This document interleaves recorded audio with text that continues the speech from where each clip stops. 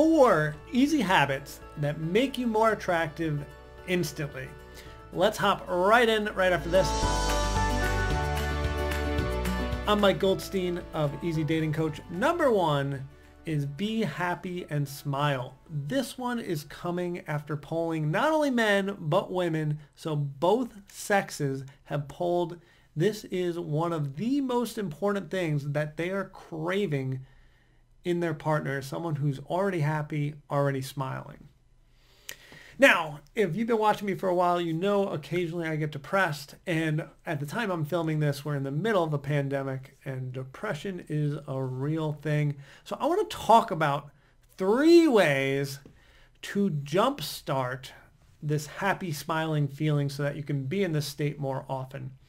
All right. So the first one is actually forcing yourself to smile. When you smile, this there's transmitters, frequencies happening up here that actually trigger you to be happy. I can't quite explain it. I don't know the science, but it works. When I am very sad, sometimes I just go, and then I hold it for 20 seconds, and somehow I start thinking about happier things. I suggest you try it. It actually works. Number two of how to smile, be happy when asked, how are you? Fake it till you make it and do it in a grandiose fashion.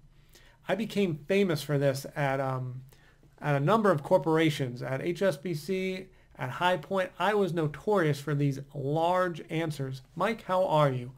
I'm having the best day of my life. I am phenomenal. I am amazing. These are my adjectives that I consistently used. And guess what? Every time I said it, a lot of people at first were like, what the heck? How's, how are you phenomenal? And that forced me to come up with something I was grateful for or happy for in that day. You know why I'm amazing? Because I got to walk here and I wasn't in pain. Or I went on a jog yesterday and it wasn't that tiring. I didn't, and I made it really far. Whatever. Anything you can tell them. Oh, I'm so happy! I'm so happy! This is the best day of my All right, number three is meditate on happiness. I want you to close your eyes, start breathing in through the nose, out through the nose. Maybe you do 10 seconds, whatever works for you, five in, five out, 10, whatever you're happy with. And I just want you to start to think if you want. Think about what you're grateful for. Think about what you're happy about. Or start visualizing. Let's say you're about to go on a date. And dates usually are happen maybe on a weeknight at like seven, eight o'clock at night, long day of work, close your eyes. It's almost like a mini nap. And start visualizing what you're going to do on this date. Just like Michael Jordan visualizes, whoop, made that shot, three-pointer, no problem. So close your eyes and start, you can even start visualizing how you're going to perform on the date. Start thinking about when he asked me this, this is how I'm going to respond. I want to ask him this question. I'm dying to know this about him. Um, when the check comes, I'm going to offer just like this. Get yourself in the right mind frame so that when you're on the date, you just like, you've already saw how you were going to behave and now you're just executing. Instead of, oh, I should have done that. I should have asked this. No, you're prepared. All right, back to our four easy habits that make you more attractive Number two is be a fib. F-I-B. A fib.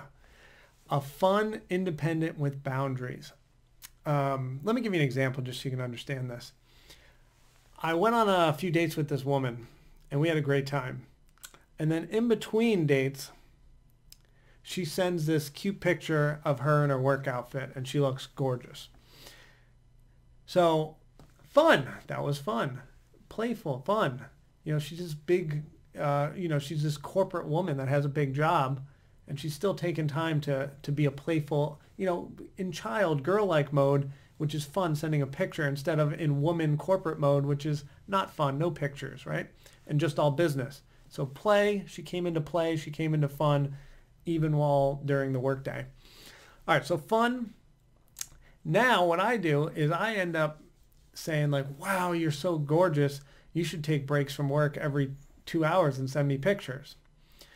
All right, I get it. A bit much. I should have toned that down, but I still did it. I think I was secretly like testing how fun she was going to be and see like where her boundaries are. This is what men do. We kind of like poke and we see how far we can push someone. And even though I'm a dating coach and I knew probably shouldn't be saying that, I, I was still kind of curious like what I could get out of this woman. And it just like built into us. We're going to push. Even educated in this arena, probably not my best of stuff, it happened. So what she says is, ha ha ha, I think one will suffice until I see you tomorrow. So why do we love this response? Like I said earlier, she's got a great job. She's busy. She's independent. So independent, like, come on, Meg, like, go occupy yourself. If you really need to look at a beautiful woman, go on the internet. Like, come on, man. So she's independent, and then she has boundaries. She's like, I'm freaking busy here. I'm not going to do this every two hours. But she always stuck to being fun. She said, ha ha ha, I think one will suffice until, until we see each other tomorrow.